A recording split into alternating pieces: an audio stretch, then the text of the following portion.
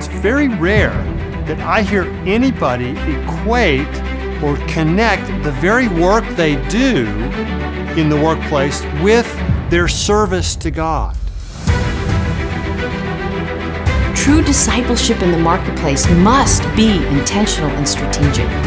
It starts with a sense of urgency and understanding that the call to work is not just a good idea.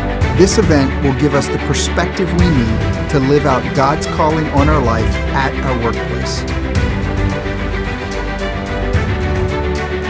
Join us for taking Sunday faith into Monday work on March 22nd at Lancaster Bible College.